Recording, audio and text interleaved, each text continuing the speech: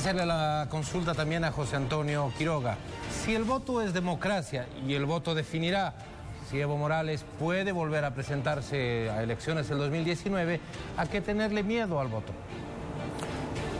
Mire, la democracia no solamente es voto, es también respeto de las reglas definidas colectivamente. Y la Constitución expresa un tipo de acuerdo, un pacto eh, eh, entre los ciudadanos para definir qué reglas eh, acepta y cuáles no. En este caso, uno de los hechos históricos, como dice Hugo, el presidente Morales fue aprobar una constitución que limita la elección a dos periodos consecutivos. Se dirá, sí, pero hay un artículo que permite la reforma de la Constitución. Es la segunda vez que el MAS quiere cambiar la Constitución. La primera vez lo hizo a través de una ley de aplicación normativa que permitió la reelección del año 2014, que ya estaba prohibida por la Constitución.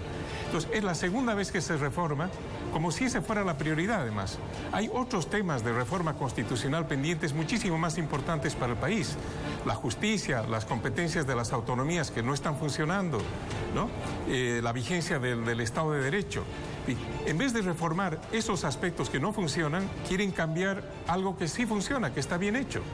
Sí, el mecanismo de reforma está pensado para modificar aquello que no está bien o que no funciona. Y en este caso aplican el mecanismo de reforma, supuestamente a pedido del pueblo, cuando todos sabemos cómo se toman decisiones dentro del MAS, ¿no?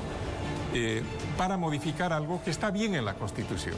Es democrático limitar a dos periodos eh, una gestión de gobierno para que al término de ese periodo los mandatarios rindan cuentas de sus actos, ¿no? que no se concentre el poder en manos de dos personas y su equipo de gobierno.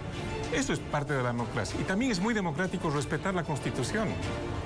Hay esa opción eh, que el pueblo yo creo que la va a imponer a través de su voto. Tiempo, por favor.